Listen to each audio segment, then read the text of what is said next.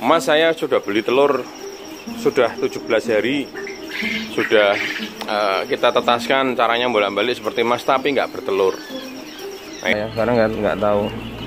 Kalau John biasanya pakai takaran berapa harus dikasih? Kalau enggak kalau saya saya penuhi aja.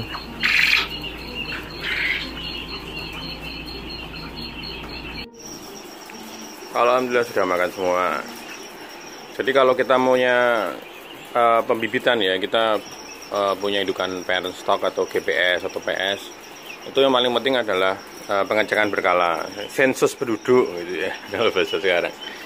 Jadi kita cek uh, jantannya biasanya kita lihat jantannya ada berapa karena paling mudah itu. Itu yang PS parent stock nah kalau yang GPS yang hitam atau coklat aja nah kita juga cek berkala. Jadi kita masukkan dalam box biasanya semuanya dan kita uh, hitung ulang jantan dan betinanya. Jangan sampai telur itu tidak ada jantannya atau jantannya pas mati kita nggak tahu atau kekurangan jantan. Nanti kualitas telur fertilnya nanti juga akan kurang bagus karena nggak nggak akan menetas. Gitu. Masih ada beberapa pertanyaan dari teman-teman yang telur beli di pasar bisa menetas atau enggak atau yang lebih parahnya ada yang Mas saya sudah beli telur sudah 17 hari sudah uh, kita tetaskan caranya bolak-balik seperti Mas tapi nggak bertelur Nah itu juga ada yang nanya kayak gitu. Saya kayak merasa terdakwa gitu ya. saya merasa terdakwa, tapi setelah saya tanya, mas telurnya dari mana? Beli dari kita kapan? Ternyata beliaunya nggak bisa ngomong, ngomongnya kita beli di pasar mas. Karena di pasar dekat dengan rumah saya, saya tetaskan nggak bisa menetas. Saya hanya senyum-senyum aja.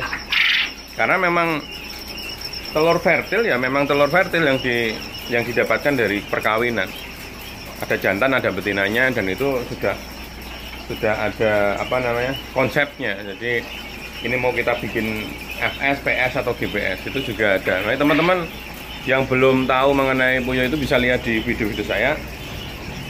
Jenis puyo kan banyak. Pertama SS standar stok lalu ada GPS, ada PS, ada FS nah yang biasanya dipakai untuk petelur yang dijual di pasar itu hasil dari uh, orang tuanya FS atau final stock telurnya memang telur konsumsi yang dipakai di tempat kami ini nggak ada yang eh, FS atau final stock ini semua indukan.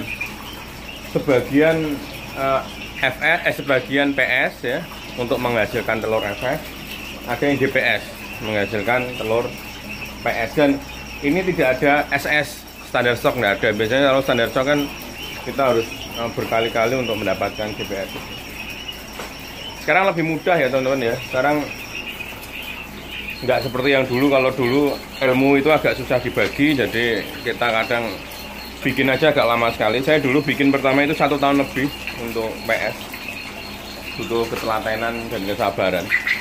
Nah makanya bagi kawan-kawan yang sekarang beternak itu juga harus memikirkan itu ya. Jangan sampai kita seumur hidup beternak dan mengandalkan uh, beli bibit ya kalau beli bibit itu bibitnya terjangkau harganya kualitasnya dijamin bagus nggak ada masalah.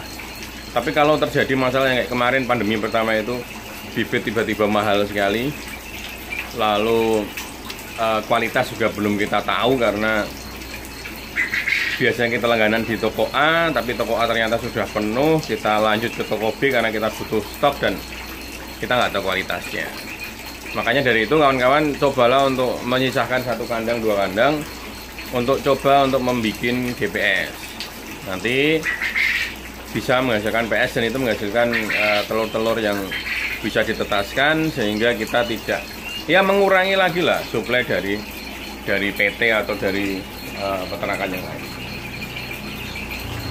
Ini pagi ini minggu kalau kandang seperti ini ini tetap kita ke sini sore karena pakannya ada di, di depan dan nggak bisa kita penuh